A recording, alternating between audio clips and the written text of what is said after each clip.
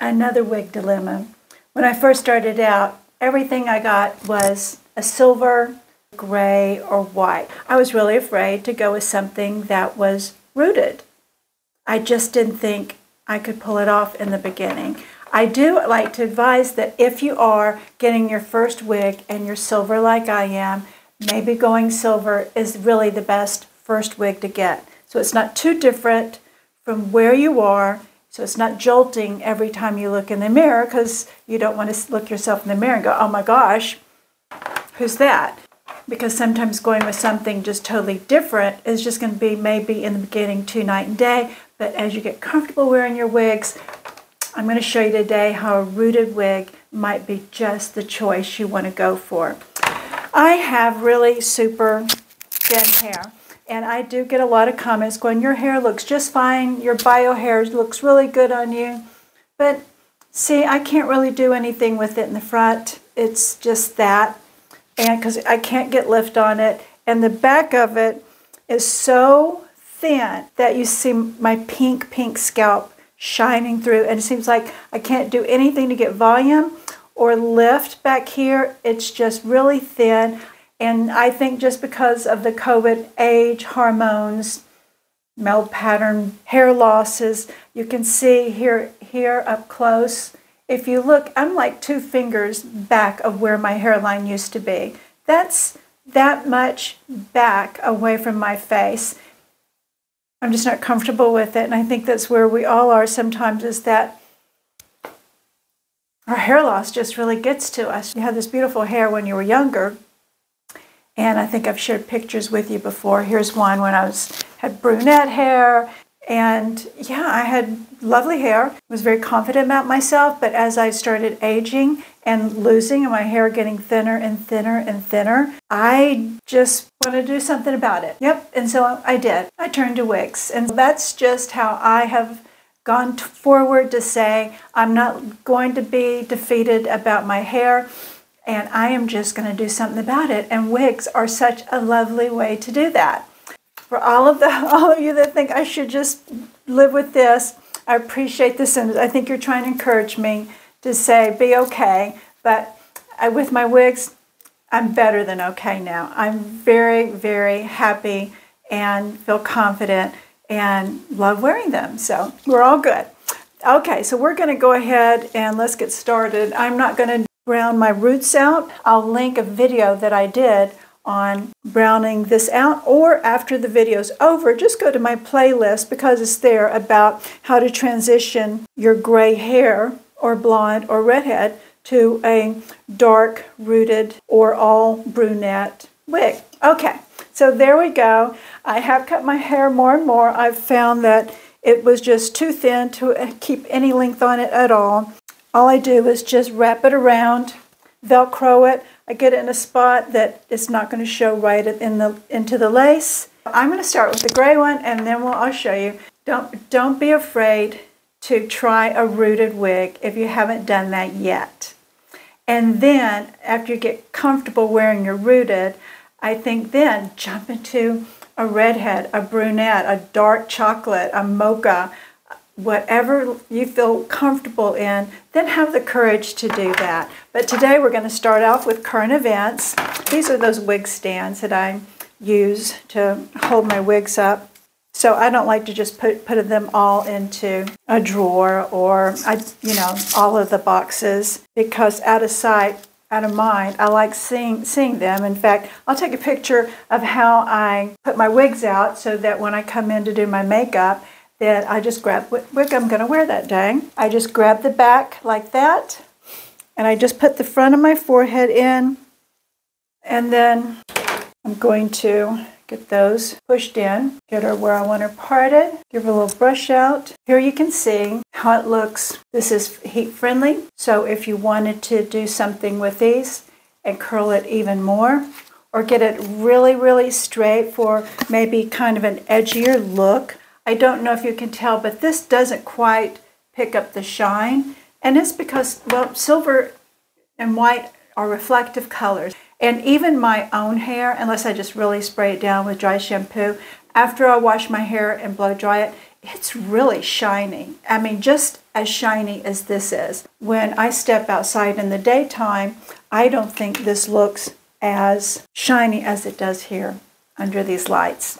I would take you outside to show it to you, but it is a gray, rainy day here in the Netherlands, and it's a gray, rainy day almost always here in the Netherlands. So, but there are some sunny days and lighter days, and I promise to start trying to take you outside with me, maybe show you a little bit around the city I live in in the Netherlands, and so you can see a side of it, but also just to give you an idea what this looks like outdoors. So this is current events and I'm going to put the particulars right here beside it. If this is a wig that you think you want to look into, it has like some movement. I wore this on an airplane from on a 14-hour flight from the U.S. to the Netherlands.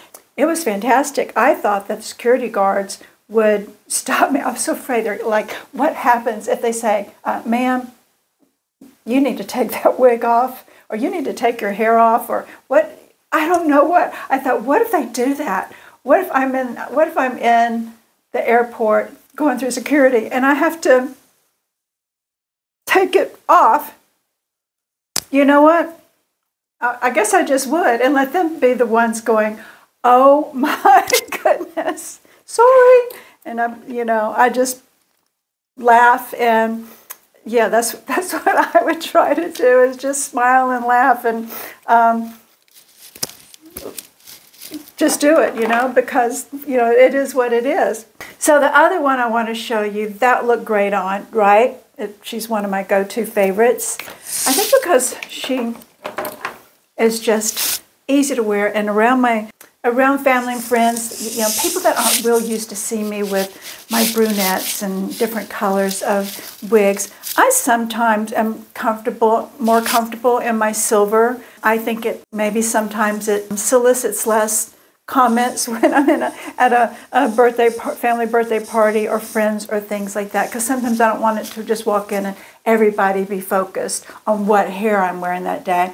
And when I'm wearing my silver white wigs, they don't seem to do that. They go, oh, you know, hair looks nice, and and sometimes you just want to, sometimes you just kind of want to be low key about how you're wearing your hair. So that's what I would suggest. If that's where your comfort zone is, then um, stay with something similar to, if you're brunette, stay brunette. If you're silver, white, transitioning, stay closer in that range of what your hair is, and you'll feel more comfortable because maybe no one will notice, even your closest family. So go with comfort first. That's my suggestion. Once you decide to get out of the comfort zone, like I needed to do to put on a wig with roots, I really had to just step out there and buy one and say, okay, okay, Mel B, let's do this. So again, I'm going to grab it here, pull it down, pull it back to my hairline. See what a difference. And I'm going to show you something here. See my have white roots? That's why I powder, that's why I use root spray or powder to blend it in. And here's the link again to see how I brown out my roots to tie in with the wig. So watch that video or go to my playlist to find it there. The, the hairline is from ear tab to ear tab. It has a wide part. I think this is more youthful look. I think the when I did this, it brought me into gosh, I can wear a brunette colored wig. I wanted so what I would do if you didn't have time or want to brown out your roots is just pull some of this front See that? Pull some of this out. Might look a little bit better. See how there's these highlighted pieces coming through? I love the way Raquel Welch Roots does these highlights in the front. I wish I could see these more in person. And that's what I hope you do. You know, if there's a wig, you're struggling on what kind of wig. I advise ladies in messages all the time, they're asking me about it. Go to a local wig salon if at all possible.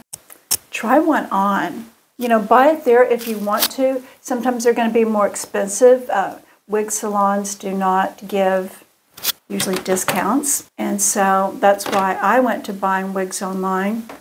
And I'll tell you the truth, my first wigs I bought was on Amazon. I think over the, the, the year just progressed and progressed and got to where I wanted to have a better quality and better quality because not all wigs are created equal Sometimes you do get what you pay for. If you're going to if you're willing to spend over 200, 300, 400, you're going to get a great wig from Raquel Welch Tress Allure, BelleTress, um, Ellen Wille. I can't name them all. There's so many good ones out there, but I'm telling you, if, you, if you're willing to invest 200, 300, 400 for a good synthetic, heat friendly, you're going to find some really great wigs out there that are super comfortable.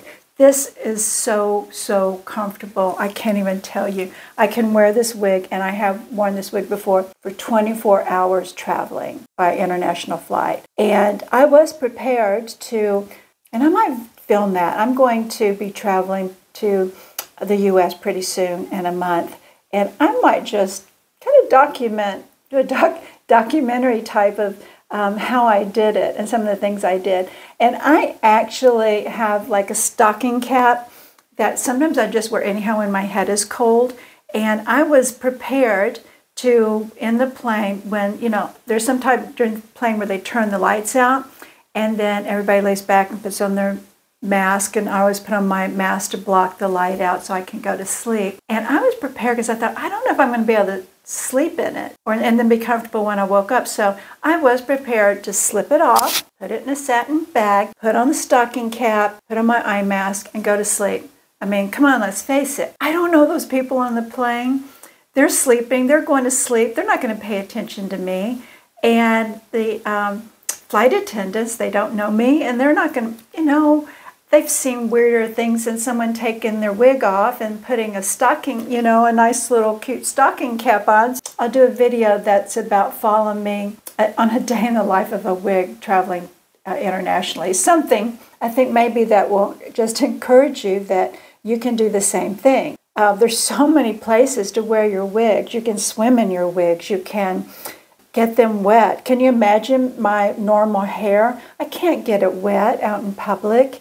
And it's, it's horrible when, you know, people say all the time, wear your bio hair, but, you know, when it gets wet, I look like a wet rat and it, it's not pretty. Then I feel really uh, conscious and, and feel, I just feel bad about myself. So, yeah, that's why I wear wigs. One of the very many reasons I love to wear wigs. Wigs have come a long way, baby. Okay, so what do you think? Silver or rooted? Well, I think you don't have to pick. I say get both of them because one day you want to be silver and the other day rooted.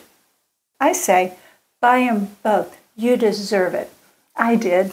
This is a great wig because it is so flat. So if you really smooth it back, and in the wintertime, I like hats. Hats are a really fun way to also accessorize and elevate a wig. And this doesn't have so much volume that it keeps you from wearing a beret, a cap like this, or maybe a stocking cap.